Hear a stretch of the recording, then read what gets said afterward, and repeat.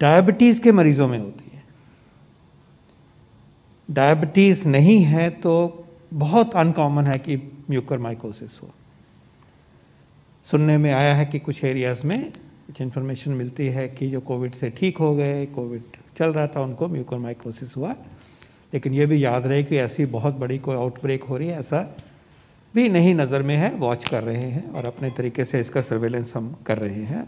तो रीअश्योर करना चाहेंगे कि ऐसा नहीं है कि बहुत बड़ी तरीके से कोई आउटब्रेक हो गई। ऐसा नहीं है। और प्रिकॉशंस लेंगे तो नहीं होगी वो भी मैं आपके सामने प्रस्तुत करूँगा।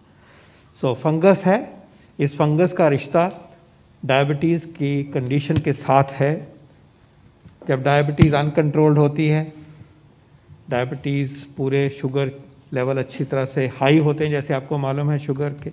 तो अगर वो नॉर्मल में नहीं है, नॉर्मल सिचुएशन में नहीं आए, डायबिटीज़ अनकंट्रोल्ड है तो म्यूकर अटैक करता है।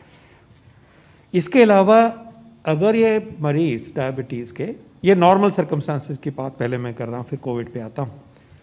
अगर उनको कोई बीमारी हो गई उनको दवाइयाँ ऐसी मिल रही हैं जो कि हमारे इम्यून सिस्टम को सप्रेस करती हैं इम्यूनो सप्रेसिव स्टेरॉयड मिलें, उनके और कोई डिसीज़ अंदर आए, मान लीजिए कैंसर भी हो गया साथ में तो इम्यून सप्रेशन होता तो इस डिसीज़ का प्रभाव उस डायबिटीज़ के पेशेंट में बढ़ जाता है।